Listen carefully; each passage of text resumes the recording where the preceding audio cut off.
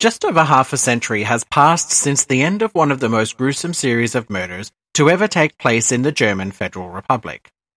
The small town of Langenberg, a medieval village preserved mostly intact, is located on the Deilbach Valley. It's surrounded by meadows, pastures, a stream, and a forest.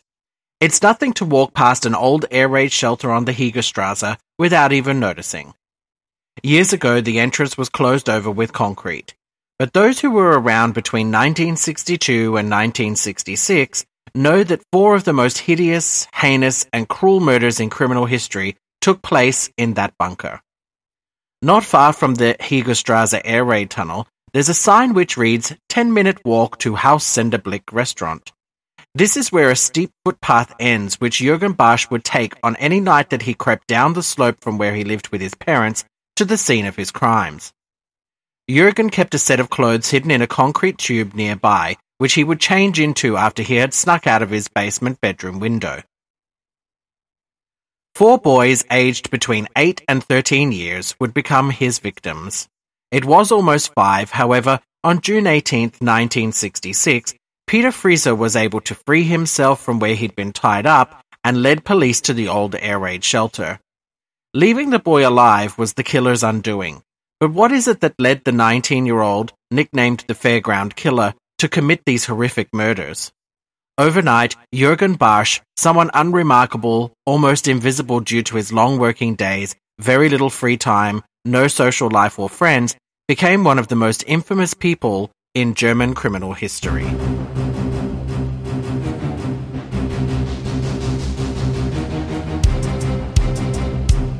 Welcome to Veritas True Crime Podcast.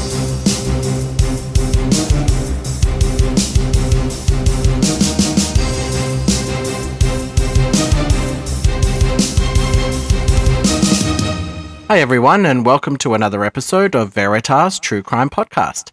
I'm your host, Jesse. Thanks very much for joining me. I want to give you a quick content warning here and now. This episode contains graphic details of child abuse, rape, murder and mutilation, masturbation, and pedophilia. During my research, I found many facts which I decided to omit from the episode, mostly because they didn't have any effect on the continuity. However, I've shared an extensive amount of premium content if you're interested on Patreon. Part of my research for this case, and it was probably the most in depth I've ever gone for a case before, included reading letters written by the subject over a number of years, and in German. I've translated quite a lot of the content for you to read through. Some of the details in the letters were musings from Jurgen, and I didn't feel that it was relevant. Some of the information was graphic details of his crimes, his miserable upbringing and life. I haven't censored any of the details. Some people may find the information triggering and confronting. So, as always, discretion is advised. I had planned to drop hints through the podcast to let you know to fast forward sections, but as I went along, I felt that if I did that, it would take away from the story and I would spend too much time telling you to fast forward. If you feel like you'll be affected by any of the information in this episode, I suggest that you don't listen. I've edited the content in a way that we will jump around just a little bit.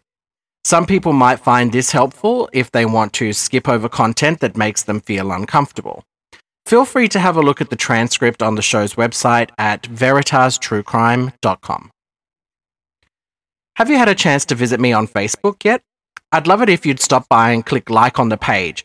Just search in Facebook for Veritas True Crime Podcast. Maybe you'd also like to leave a review if you've enjoyed listening to my episodes so far.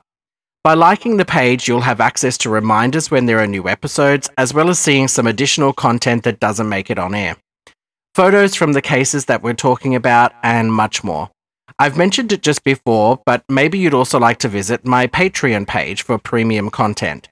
There's a poll on that page where you can vote for the kinds of true crime stories that you'd like me to tell you. There will be photos from crime scenes, extras from our stories, and soon I'll hold some live Q&As, like a meet and greet. I look forward to seeing you there. The link is on the episode page for Patreon.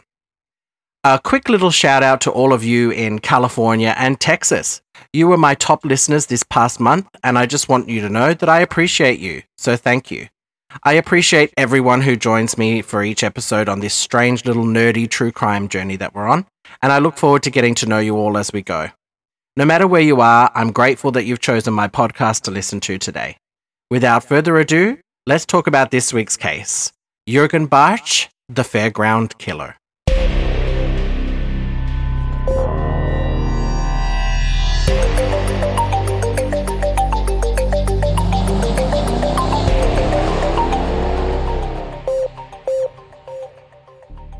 Born Karl Heinz Sadrzinski on November 6, 1946, in post war Essen, West Germany, to Friedrich Sadrzinski and Elizabeth Anna Liedke.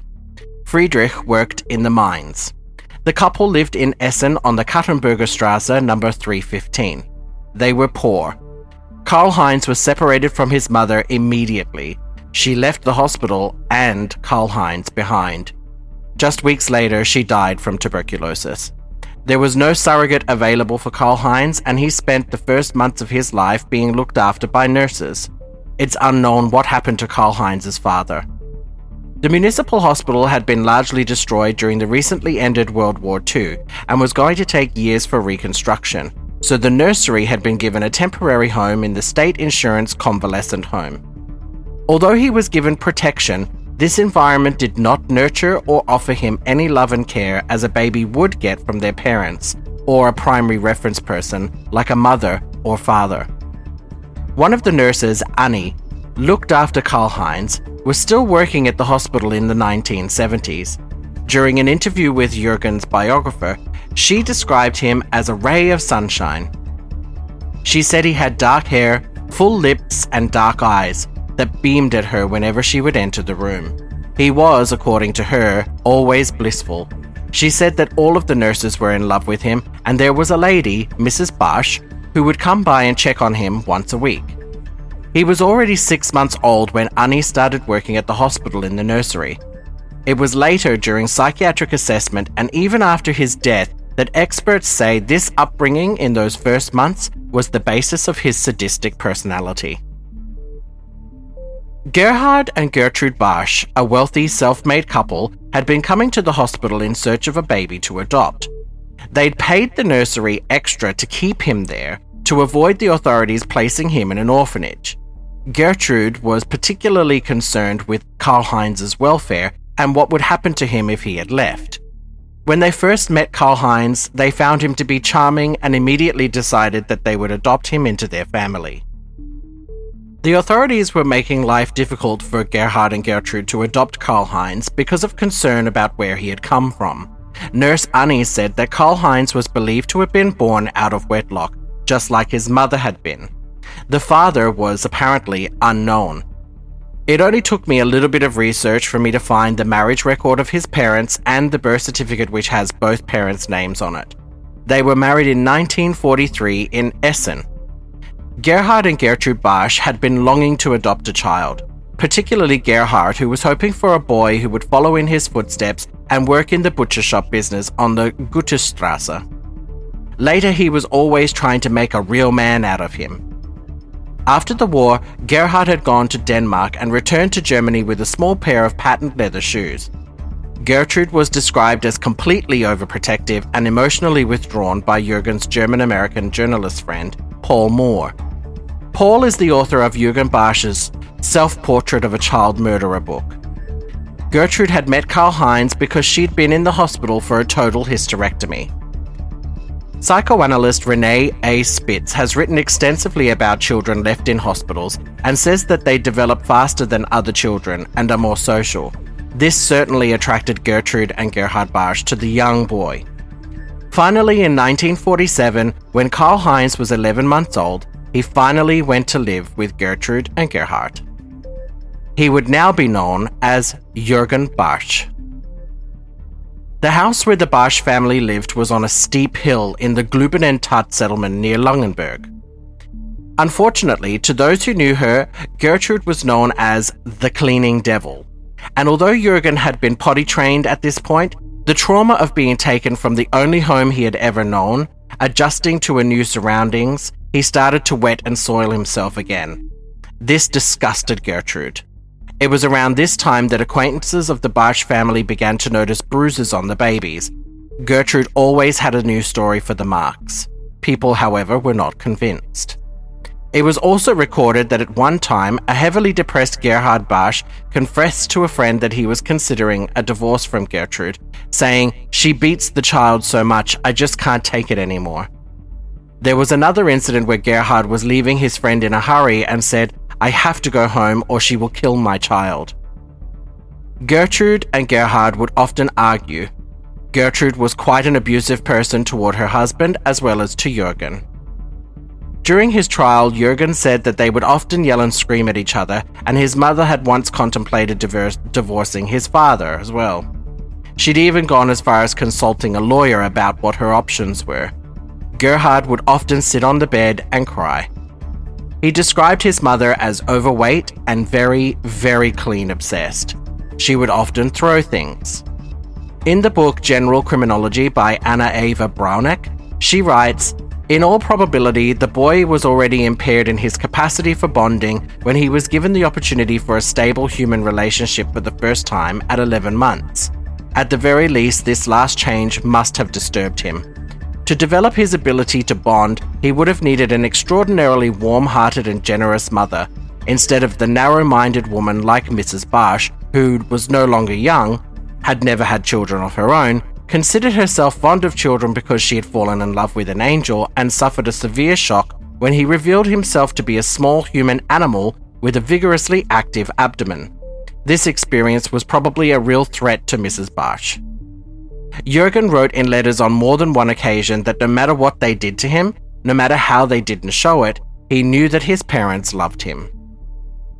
Between 1968 and 1976, Paul, Moor, and Jurgen had written letters to each other.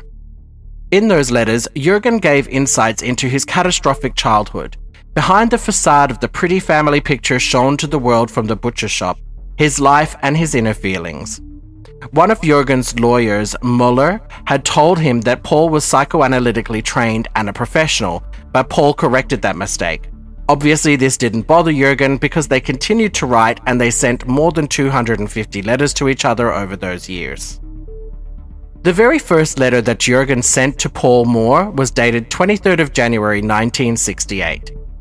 This is how it reads Dear Mr. Moor, First of all, my heartfelt thanks for your dear card on January 9th, 1968 and also for the Christmas telegram of December 24th, 1967, which made me very happy.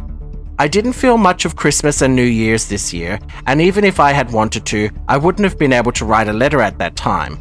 I haven't really recovered to this day. Why? I want to describe it to you, not to arouse sympathy, but because it may be of interest to you since you've been trained psychoanalytically, as Herr Moller has told me.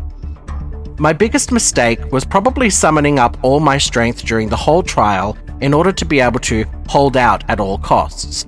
And I was repeatedly told that I had unbelievable staying power, but that wasn't entirely true. It was just the iron will that made me endure everything for so long. That's probably why the picture of the callous, ice cold Jurgen Bartsch, who actually had every effort not to fall over, came about. I only realized too late, as is always the case, that I had not survived the whole thing physically and mentally without damage. Namely, on the evening of December 15, that was the last day of his trial, I suddenly had the feeling that I couldn't breathe, and that I would suffocate. When it became unbearable, I asked for a doctor, which I had never done before. A paramedic came, Herr Schultz, who I got along with very well. He noticed that I had a very high heart rate, probably because of fear, and was there twice more during the night. However, the shortness of breath persisted, although I was too stupid for, to call for the doctor again in the next few days. Jurgen's adoptive parents strictly forbade friends and family who knew that he was adopted from telling Jurgen that he wasn't their biological child. He wasn't allowed to play with other children because his mother was afraid that he would get dirty. She was so fixated on cleanliness, a symptom of her obsessive compulsive disorder, that Gertrude demanded everything be clean and tidy in the home. Jurgen was completely under her control. Clothes were required to be folded and placed on shelves with military pre- precision. She would choose his clothes for him to wear daily, right up until